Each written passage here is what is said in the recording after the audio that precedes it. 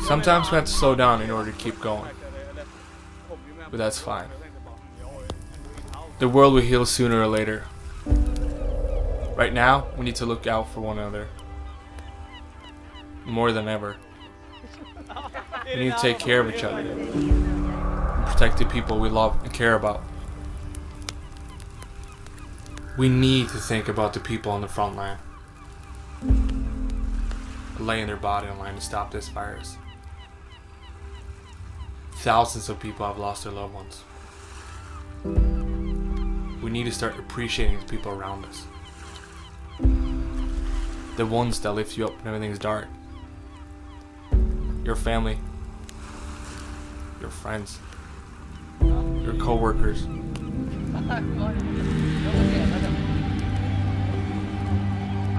Without them, we will be nothing. Show people how much you care about them. We'll get through this. We're in this together. Just keep fighting and stay safe.